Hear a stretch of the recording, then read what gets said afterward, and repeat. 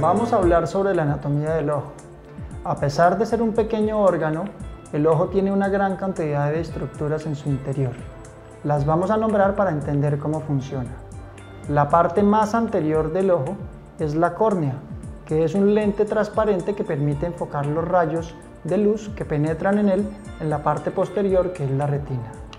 Detrás de la córnea existe una estructura de color llamada el iris, que da el color de los ojos, y en su centro la pupila, que regula la cantidad de luz que pasa por él.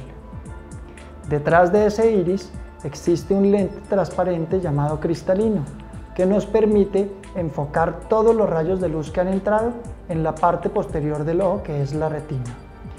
Entre el cristalino y la retina existe un gel llamado humor vítreo, que se encarga de mantener la retina adherida a su parte posterior. En la parte posterior de la retina se encuentra el nervio óptico que transmite la visión desde el ojo hasta el cerebro para poder completar el sentido de la visión.